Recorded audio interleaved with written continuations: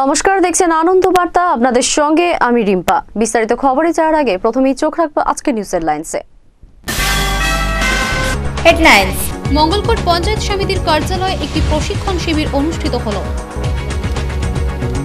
পঞ্চায়েত নির্বাচনকে সামনে রেখে মঙ্গলবার ভারতীয় জনতা পার্টির পক্ষ থেকে একটি পথসভা অনুষ্ঠিত হলো ভাতারের মহাচান্দার রথতলা গ্রামে।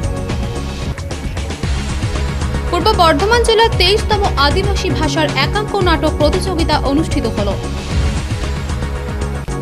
সিনেমা হলে জাতীয় সংগীত বাজানো বাধ্যতামূলক নয়, এমনই কথা জানিয়ে দিল সুপ্রিম কোর্ট। রাধামোহনপুর গ্রাম পঞ্চায়েত এলাকার বন্দলহাটি গ্রামের কাছে ডিভিসি সেচ খালের উপর ন নম্বর সেতুটি দীর্ঘদিন ধরে বেহাল অবস্থায় পড়ে আছে। মঙ্গলবার বাঁকুড়ার তালড্যাংরায় যুক্তা প্রাথমিক বিদ্যালয়ের উদ্যোগে এবং জয়রামবাটি রামকৃষ্ণ মিশনের সহায়তায় গরিব ও দুস্থ মানুষদের শীত শীতবস্ত্র প্রদান করা হলো। বিস্তারিত খবরে। মঙ্গলকোট পঞ্চায়েত সমিতির কার্যালয়ে একটি প্রশিক্ষণ শিবির অনুষ্ঠিত হলো। এদিন শিবিরে আনুমানিক চল্লিশ জন প্রশিক্ষণ নেন। আয়োজকদের আশা এর ফলে উপকৃত হবেন প্রশিক্ষণকারীরা। জাতীয় প্রাণী সম্পদ বিকাশ যোজনার সক্ষমতার বৃদ্ধির লক্ষ্যে একটি প্রশিক্ষণ শিবির অনুষ্ঠিত হলো। মঙ্গলকোট পঞ্চায়েত সমিতির কার্যালয়ে অনুষ্ঠিত হয় এদিনের এই কর্মসূচি। প্রাণী সম্পদ বিকাশের পক্ষ থেকে অনুষ্ঠিত হয় এদিনের এই কর্মসূচি। আনুমানিক চল্লিশ জন এদিন প্রশিক্ষণ নেন। বিজ্ঞানসম্মত উপায়ে প্রাণী প্রশিক্ষণ এবং আর্থিক শ্রীবৃদ্ধির লক্ষ্যেই এইরূপ কর্মসূচি গৃহীত হয়। বুঝতে হবে যে এই প্রোগ্রামটা কিন্তু একটা অনেক সময় যেটা হয় আর কি। একটা প্রোগ্রাম করলাম, আসলাম, খেলাম, দিলাম। কিছু হয়তো সার্টিফিকেট পেলাম। এইটার জন্য কিন্তু প্রোগ্রামটা নয়। আমাদের আমাদের দেখলেন যে national life livestock mission যে আছে, তার ইয়েতে এটা দেয়া হচ্ছে। তো আমাদের এখানে এরকম একটা ছিল মানে আগে থেকেই অনেকদিনকার ট্র্যাডিশন আর কি। যে গরু, ছাগল, হাঁস, মুরগি। বা, ভারত সরকারের কাছে যখন পশ্চিমবঙ্গ নিয়ে ইভালুয়েশন হয় তখন গর্ব করে বলার মতো পশ্চিমবঙ্গের মানুষের কিছু থাকে না বা পশ্চিমবঙ্গের বিজ্ঞানীদের থাকে না। সেটা আমাদের এখন গর্বের জায়গাটা তৈরি হয়েছে। সেই গর্বের জায়গাটা কোথায়? একটি হচ্ছে ছাগল আর একটি হচ্ছে আমার ভেড়া। আয়োজকদের পক্ষ থেকে প্রাণী পালকদের ক্ষতিপূরণ হিসেবে আঠেরো হাজার টাকা করে দেওয়ার কথা জানানো হয়। সমিতির উদ্যোগে প্রাণী সম্পদ বিকাশ বিভাগ দপ্তরের তরফ থেকে ন্যাশনাল লাইফস্টক মিশন জাতীয় প্রাণী সম্পদ বিকাশ, এই যে মিশনের অন্তর্ভুক্ত একটি প্রকল্প farmers training programme with capacity building আজকে আমরা চল্লিশ জন ফার্মারকে প্রাথমিকভাবে ডেকে নিয়েছি। তাদেরকে, তাদের ক্যাপাসিটি অর্থাৎ তাদের সক্ষমতা বৃদ্ধির উদ্দেশ্যে। এরা প্রত্যেকে হচ্ছেন প্রোগ্রেসিভ ফার্মার প্রত্যেকের রয়েছে ডেয়ারি ক্যাটল অর্থাৎ গরু এবং মোষ। দুধের জন্য তারা মিল্ক কাউ প্রোডাকশনের জন্য রেখেছেন। এই সমস্ত প্রাণীপালক তাদের যাতে করে ডেয়ারি ক্যাটলের মৃত্যু, অকাল মৃত্যুর জন্য যাতে করে ক্ষতিপূরণ পেতে পারে, তাই সরকারি উদ্যোগে আমরা মঙ্গলকোট ব্লকে তিনশো জন প্রাণীপালকের অ্যানিমেলকে আমরা ইনশোর করে দিয়েছি। সেই অ্যানিমেল, তার ভ্যালু আমরা করেছি আঠারো হাজার টাকা। তারা একশো টাকা করে প্রদান করেছে আর ক্ষতিপূরণ হিসাবে ন্যাশনাল লাইফস্টক মিশনের মাধ্যমে আঠারো হাজার টাকা ক্ষতিপূরণের ব্যবস্থা করেছি। প্রোগ্রাম এই প্রোগ্রামে আমরা এই প্রাণীপালকদেরকে সামিল করেছি। মন্তেশ্বর ব্লক থেকে আমরা এক্সপার্ট এনেছি। আমাদের দুজন এক্সপার্ট ডাক্তারবাবু রয়েছেন। ব্লক প্রাণী স্বাস্থ্য কেন্দ্রে ডক্টর ছোটন কুমার ঘোষ এবং অতিরিক্ত ব্লক প্রাণী স্বাস্থ্য কেন্দ্রে ডক্টর প্রণয় কুমার দাস এবং আমি নিজে ডক্টর দেবাশিস জানা। আজকে এই চারজন আমরা এক্সপার্ট আজকে এই ট্রেনিংটাকে ইম্পার্ট করব। আমাদের উদ্দেশ্য প্রাণী পালন। ইনারা করছেন তারা বিজ্ঞান কিছুটা জানেন আরও কিছু প্রযুক্তি, যেমন আমরা আজকে কারল ভেড়ার উপরে কথা বললাম, তেমনি আমরা মিল প্রোডাকশন এনহান্স করার জন্য কথা বলব। আমাদের মাননীয় মুখ্যমন্ত্রী চাইছেন আমরা যাতে করে ডিম উৎপাদনের স্বয়ম্বর হতে পারি। তাই আমরা যে লক্ষ লক্ষ মুরগি বাচ্চা বিতরণ করছি, তাদের প্রোডাকশন এনহান্সমেন্টের জন্য আমরা দিক নির্দেশিকা করব। আমরা উল প্রোডাকশন করব, মিট প্রোডাকশন করব। এমনি আমাদের অগমেন্টেশন অফ মিট প্রোডাকশনও একটা আমাদের লক্ষ্য।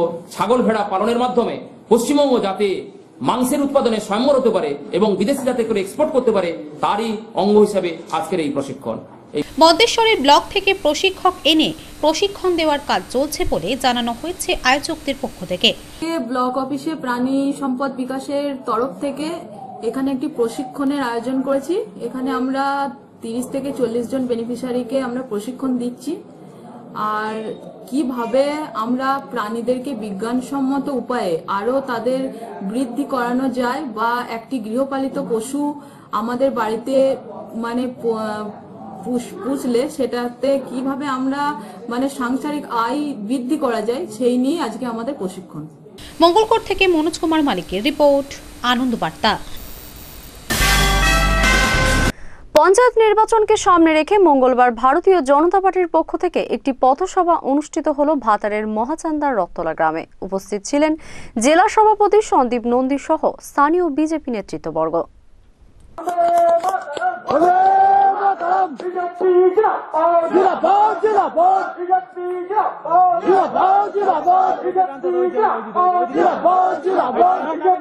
আসন্ন পঞ্চায়েত নির্বাচন আর এই নির্বাচনকে সামনে রেখে এখন থেকে প্রচারে নেমে পড়েছেন বিভিন্ন রাজনৈতিক দলের নেতা নেতৃত্ববর্গ।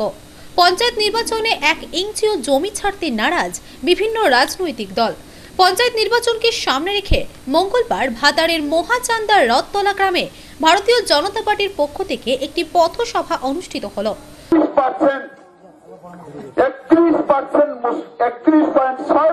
মুসলিম ভোট আছে বলে মুসলিম তোষণ করছে।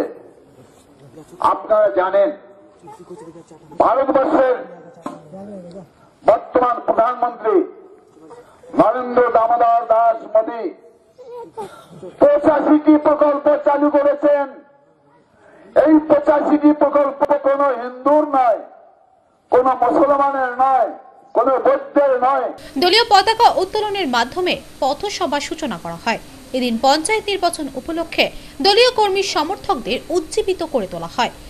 যারা বন্ধু, এখানকার যারা ভোটার, নতুন প্রজন্মের যারা মা, ভাই, বোনেরা, তাদের কাছে অনুরোধ যে আমরা একটা প্রায়শ্চিত্ত করে আসুন, যে এই বাংলাকে যিনি ভারত ভূখণ্ডে রেখেছেন, সেই শ্যামাপ্রসাদ মুখার্জি, যিনি ভারতীয় জনতা পার্টির জন্ম দিয়েছেন, সেই ভারতীয় জনতা পার্টির জন্মদাতা একজন বাঙালি হয়েও, সেই বাংলায় এখন আমরা ক্ষমতা দখল করতে পারিনি, এই গ্লানি থেকে মুক্ত দেওয়া, মুক্তি পাওয়ার জন্য আসুন আগামী প্রত্যেকটা ভোটে কি পঞ্চায়েত ভোট হোক, কি আপনাদের লোকসভা ভোট হোক এবং বিধানসভা ভোট হোক, এক এক করে ভোট দিয়ে উনিশটা রাজ্যের সঙ্গে কুড়ি, একুশ, বাইশ প্লাস প্লাস প্লাস করে নিয়ে গিয়ে একটা বৃহত্তর ভারতীয় জনতা পার্টিকে দেই যে ভারতীয় জনতা পার্টি গৌরবের সঙ্গে বলবে, কি বলবে আমার সঙ্গে সবাই বলুন? জয় শ্রীরাম! জয় শ্রীরাম! পাশাপাশি কেন্দ্র সরকারের বিভিন্ন প্রকল্প সম্পর্কে গ্রামবাসীদের অবগত করানো হয়। উপস্থিত ছিলেন বিজেপির জেলা সভাপতি সন্দীপ নন্দী সহ স্থানীয় বিজেপি নেতৃত্ববর্গ। পরিস্থিতি দেখছি। আমি আনাচে কানাচে অনেক জায়গায় আমি ঘুরেছি, কিন্তু রাস্তাঘাটের কোনো সুব্যবস্থা নেই। আরেকটা কারণ দেখছি, কিন্তু টাকাটা কিন্তু কেন্দ্রীয় সরকারই পাঠাচ্ছেন।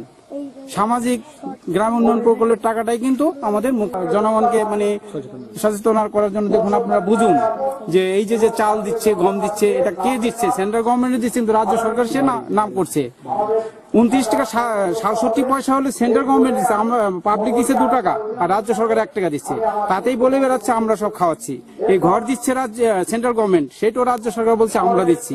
কিন্তু পাবলিক তো অনেকে বুঝতে পারে না সেখানে পথ সেবাটা করার উদ্দেশ্যই হলো পাবলিককে চেতনাবোধ করে তোলা, যাতে যেন এরা বুঝতে পারেন সত্যই কি টাকাগুলি দিচ্ছে। সামনে পঞ্চায়েতকে, পঞ্চায়েত নির্বাচন স্তর পঞ্চায়েত নির্বাচন, এই পঞ্চায়েত নির্বাচনকে সামনে রেখে আমরা রথতলা গ্রামে যে একটি পতাকা উত্তোলন করলাম এবং এখানে পথসভা করছি। এই পথসভা করার কারণ আমাদের যে নরেন্দ্র মোদীজি যেসব স্কিম আমাদের জন্য তৈরি করেছেন, সেই জনসাধারণের জন্য যে স্কিম হয়েছে, সেই স্কিমগুলো মানুষ কিন্তু জানে না। মানুষ জানে যে এখন এখানে হয়তো এখানে যেহেতু টিএমসির নেতারা এবং এখানকার আমাদের মুখ্যমন্ত্রী মমতা ব্যানার্জি উল্টোপাল্টা ভাবে মানুষকে বোঝাচ্ছেন যে এই পাঁচ লাখ ঘর দেব। এই ঘর কে দিচ্ছে? না, নরেন্দ্র মোদী দিচ্ছেন। আবাস যোজনা ঘর নরেন্দ্র মোদী দিচ্ছেন। এবং এই নরেন্দ্র মোদীজির কোনো নাম না করে এখানে মুখ্যমন্ত্রী তার উন্নয়নের স্বার্থে এই কথা বলে ভাতার থেকে মনোজ কুমার মালিকের রিপোর্ট আনন্দ বার্তা ফিরে এলাম বিরতির পর, চোখ রাখবে পরবর্তী খবরে। পূর্ব বর্ধমান জেলার তেইশতম আদিবাসী ভাষার একাঙ্ক নাটক প্রতিযোগিতা অনুষ্ঠিত হলো। প্রতিযোগিতাটি অনুষ্ঠিত হয় আউসগ্রাম দু নম্বর ব্লকের অভিরামপুরে। আঠারোটি দল প্রতিযোগিতায় অংশ নেন।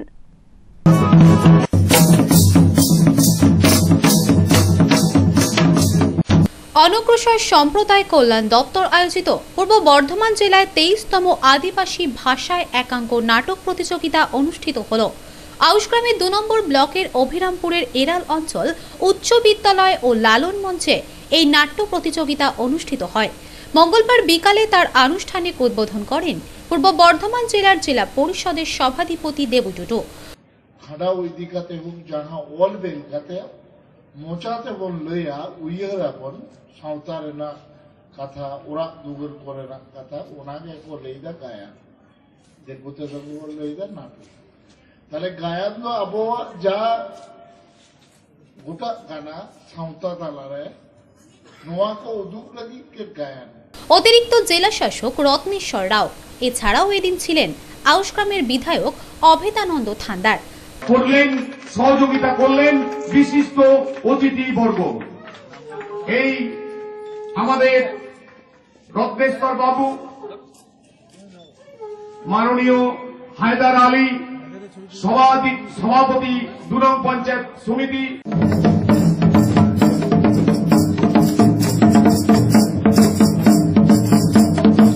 আউশগ্রাম দুই বিডিও সুরজিৎ ভর পঞ্চায়েত সমিতির সভাপতি হায়দার আলী এরাল গ্রাম পঞ্চায়েতের প্রধান প্রমুখ। পূর্ব বর্ধমান জেলার বিভিন্ন এলাকা থেকে আঠেরোটি নাটকের দল এই একাঙ্ক নাটক প্রতিযোগিতায় অংশ নেন। রচিত নাটক হয়। পূর্ব বর্ধমান এবং বর্ধমান যেটা ছিল, বর্ধমান এবং নদিয়া এই জেলা মিক্সিং করে হয় এখানে। আমাদের এবছর গতবার জামালপুরে হয়েছিল এবার এই হাউসগ্রামে আমরা স্থান নির্ধারণ করছি। এটা মূল বিষয় হচ্ছে নাটক আমাদের সমাজের দর্পণ নাটকের মাধ্যমে সমাজের মানুষ নিজেদের বুঝতে পারবে নাটকের মাধ্যমে আমরা কোন জায়গায় এটা এটাই বাস্তব সেই জন্য নাটক চলছে আমাদের সরকার ব্যবস্থা করেছে আমাদের মামাটি আজকে আদিবাসী মানুষগুলো আজকে নাটকের মাধ্যমে নিজেদের সংস্কৃতি তুলে ধরে। এটা তো সরকার চেষ্টা করছে। বিগত দিনে যেটা ছিল পশ্চিমবাংলায় সেই আদিবাসীদের সংস্কৃতি কেড়ে নেওয়া হয়েছিল। মাদল গামছা বাজানো হতো না। ওই জঙ্গলমহলে শুধু গুলি চলতো বন্দুক চলতো। মমতা ব্যানার্জি আজকে বন্দুক গুলি সব কেড়ে নিয়েছে, নিয়ে সবাইকার হাতে মাদল গামছা দিয়েছে। আজকে বেঁচে থাকার অধিকার পেয়েছে এই আদিবাসীগুলো, এই সাঁওতালগুলো তো আজকে শিল্পী ভাতা পাচ্ছে। প্রায় সবাই আমাদের, বিশেষ করে জঙ্গলমহলে অনেকে পেয়েছে, পাটে পাটে হচ্ছে, সবাই পাবে।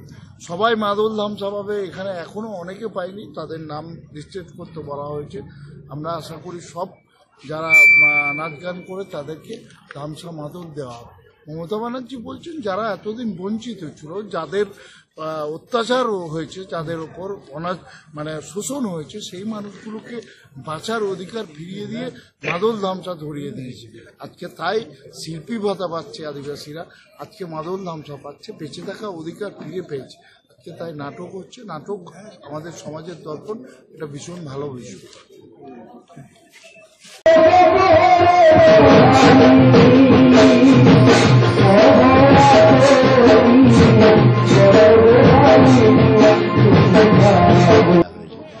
প্রতি বছরই আদিবাসীদের একটা নাট্য উৎসব হয়। মানে গত বছর হয়েছিল জামালপুরে পূর্ব বর্ধমানে। এবারে বেছে নেওয়া হয়েছে পূর্ব বর্ধমানের আউসগ্রাম বিধানসভার এরাল অঞ্চলের অবিরামপুর কারণ আমরা প্রত্যেককেই জানি যে একাঙ্ক নাটক একটা সমাজ দর্পণ। এবং নাটক একটা সমাজ দর্পণের হাতিয়ার। বিভিন্ন জায়গায়, বিভিন্ন ক্ষেত্রে মানুষকে একটা, তার নাটকের বক্তব্যের মাধ্যমে মানুষকে উজ্জীবিত করা হয়। আর আমাদের পূর্ব বর্ধমানের জেলা জেলা জেলা সভাধিপতি আছেন দেবু টুডু মহাশয়। তিনি বিভিন্ন জায়গায় আদিবাসী পাড়াতে এবং বিভিন্ন জায়গাতে তিনি অ্যাওয়ারনেস ক্যাম্পও করেন ক্যাম্পও করেন। এবং আদিবাসী বিভিন্ন রকম কুসংস্কার এবং বিভিন্ন রকম অনেক কিছু ব্যাপারে তাদেরকে কনভিন্স করা হয়। যেমন নাটকটা, একটা বিশেষ একটা হাতিয়ার। তাই নাটকের প্রতিযোগিতা করে সারা দিনে প্রতিযোগিতা হবে এবং সেখানে বক্তব্য মানুষ শুনবে। বিশেষ এই বক্তব্য ষোলো কি আঠেরোটা দল এখানে এসেছে? আঠারো, আঠারোটা দল এখানে এসেছে। রাতব্যাপী নাটকটা হবে। এবং আপনারা এটাও জানেন যে আমাদের মাননীয় সম্মানীয় মুখ্যমন্ত্রী আসার পর বিভিন্ন ক্লাব, বিভিন্ন নাট্য সংস্থাকে প্রতি বছর একটা টাকা তাদের অনুদান দেওয়া হয়। এইগুলোকে উজ্জীবিত করার জন্য এবং তাদের মাধ্যমে মানুষ এবং সমাজের অনেক মানে উপকার হবে এবং সবার সমাজ চেতনা বোধের জায়গাতে তারা বিভিন্ন কাজ করবে। অভিরামপুর থেকে পথিকৃত দাস বৈরাগ্যের রিপোর্ট, আনন্দ বার্তা। সিনেমা হলে জাতীয় সংগীত বাজানো বাধ্যতামূলক নয়, এমনই কথা জানিয়ে দিল সুপ্রিম কোর্ট। সেই সঙ্গে অবসান হলো বছর খানেক ধরে চলা বিতর্ক। জাতীয় সংগীত নিয়ে চলা বিতর্কের অবসান ঘটল। সিনেমা হলে জাতীয় সংগীত বাজানো বাধ্যতামূলক নয় সাপ জানিয়ে দিল সুপ্রিম কোর্ট। দু সালের তিরিশে নভেম্বর সিনেমা হলে বাধ্যতামূলকভাবে জাতীয় সংগীত বাজানোর নির্দেশ দিয়েছিল সুপ্রিম কোর্ট। এরপরই এক নির্দেশিকায় প্রেক্ষাগৃহে জাতীয় সংগীত বাজানোর সঙ্গে উঠে দাঁড়ানো বাধ্যতামূলক করে কেন্দ্রীয় সরকার। সুপ্রিম কোর্টের সেই নির্দেশিকা পুনঃবিবেচনার আবেদন জানিয়ে আদালতের দ্বারস্থ হয় কেন্দ্রীয় সরকার। কেন্দ্রের আবেদনের শুনানিতে পূর্ববর্তী নির্দেশ প্রত্যাহার করে নেয় সর্বোচ্চ আদালত। সুপ্রিম কোর্টকে সরকার জানায় জাতীয় সংগীত কোন অনুষ্ঠানে বা কখন বাজানো হবে তার রূপরেখা তৈরি করতে একটি কমিটি গঠন করা হয়েছে। আগামী ছ মাসের মধ্যে সেই কমিটি রিপোর্ট দেবে। ব্যুরো রিপোর্ট আনন্দ বার্তা অন্যান্য খবর নিয়ে ফিরে এলাম বিরতির পর। রাধামোহনপুর গ্রাম পঞ্চায়েত এলাকার মন্দলহাটি গ্রামের কাছে ডিভিসি সেচ খালের উপর ন নম্বর সেতুটি দীর্ঘদিন ধরেই বেহাল অবস্থায় পড়ে আছে। সোমবার থেকে বাস চলাচল বন্ধ করল বাস শ্রমিকরা। সমস্যায় সাধারণ মানুষ। বাঁকুড়ার সোনামুখী থেকে পক্ষনা হয়ে দুর্গাপুর যাওয়ার রাস্তায় রাধামোহনপুর গ্রাম পঞ্চায়েত এলাকার বন্দলহাটি গ্রামের কাছে ডিবিসি সেচ খালের উপর ন নম্বর সেতুটি দীর্ঘদিন ধরেই বেহাল অবস্থায় পড়ে আছে। ওই সেতুর উপর দিয়ে যান চলাচল বন্ধের নির্দেশ দেওয়া হয়েছিল বেশ কয়েক মাস আগেই। যদিও এতদিন পর্যন্ত ওই সেতুর উপর দিয়েই যান চলাচল করছিল। সোমবার থেকে যে কোনো ধরনের দুর্ঘটনা এড়াতে অনির্দিষ্ট কালের জন্য বাস চলাচল বন্ধ করল বাস শ্রমিকরা। তাদের অভিযোগ, এ বিষয়ে প্রশাসনকে বারবার জানানো হলেও প্রশাসনের পক্ষ থেকে সেতু মেরামতের কোনো উদ্যোগ গ্রহণ করা হয়নি। বাস চলাচল বন্ধ হওয়ায় সমস্যায় পড়েছেন সাধারণ মানুষ। দুই থেকে আড়াই মাস হলো। এই যখন ঝোলা ব্রিজ একটা প্রশাসন দেখে গেছে বা এই বাস অ্যাসোসিয়েশন থেকে আঠাশে December SDO, DSP, SP, BDO Sonamukhi PS সমস্তকে complain করা হয়েছে, জানানো হয়েছে, অবগত করা হয়েছে। তার সত্ত্বেও এই অবস্থায় ব্রিজটা রেখে দিয়েছে। তো এই ব্রিজটাকে রেখে দেওয়ার জন্য এই মানুষ যদি আজকে বাসের উপরে গিয়ে কোনো একটা দুর্ঘটনা ঘটে যায়, তাহলে কিন্তু একটা বিশাল বিপদের সম্মুখীন হতে হবে। আর এই যে রাস্তাটা আছে ক্যানেলে পাড়ে দুটো বাইক মানে রাস্তা আছে, এইটাকে বাইপাসটাকেও যদি কমসে কম বাগিয়ে দেয়, তাহলে একটা মানুষের সুবিধা হয়। কিন্তু সেটাকেও বাগাচ্ছে না, আর এই ব্রিজটাকে এইভাবে রেখে দিয়েছে। প্রশাসন প্রশাসন এখানে ডিউটি করাচ্ছে কোনো সিভিক পুলিশ দিয়ে। ওনারা বলতে চাইছেন যে আমরা চব্বিশ ঘণ্টা ডিউটি করাচ্ছি, কিন্তু আমরা এখানকার স্থানীয় মানুষ, এটা দেখতে পাচ্ছি। দুই থেকে আড়াই ঘণ্টা খুব জোর তিন ঘণ্টা ডিউটি করছে বাকি সময় ডিউটি করছে না। কবে সেতু সংস্কার হয় সেদিকেই তাকিয়ে সকলে। সোনামুখী থেকে ইন্দ্রাণী সেনের রিপোর্ট আনন্দ বার্তা। মঙ্গলবার বাঁকুড়ার তালডাংরার যুগদা প্রাথমিক বিদ্যালয়ের উদ্যোগে এবং জয়রামবাটি রামকৃষ্ণ মিশনের সহায়তায় গরিব ও দুস্থ মানুষদের শীত বস্ত্র প্রদান করা হলো। এদিন প্রায় সাতশো পাঁচ জন দুস্থ মানুষের হাতে শীত বস্ত্র তুলে দেওয়া হয়। গত কয়েকদিনে বাঁকুড়ার তাপমাত্রা দশ ডিগ্রির নিচে নেমে গেছে। মঙ্গলবার বাঁকুড়ার তালড্যাংরা যুক্তা প্রাথমিক বিদ্যালয়ের উদ্যোগে এবং জয়রামবাটি রামকৃষ্ণ মিশনের সহায়তায় গরিব ও দুস্থ মানুষদের শীতবস্ত্র প্রদান করা হলো। এদিনের অনুষ্ঠানে উপস্থিত ছিলেন রামকৃষ্ণ মিশনের পক্ষে স্বামী অমিতানন্দজি মহারাজ যুক্তা প্রাথমিক বিদ্যালয়ের প্রধান শিক্ষক বাউলচন্দ্র মাঝি সহ শিক্ষক অভিজিৎ দিকের শঙ্খ নারায়ণ মুখার্জি, শিক্ষিকা অঞ্জনা দাস শিক্ষা বন্ধু প্রসেনজিৎ পাল সহ বিশিষ্ট ব্যক্তিবর্গ। এদিন প্রায় সাতশো পাঁচ জন দুস্থ মানুষের হাতে শীতবস্ত্র তুলে দেওয়া হয়।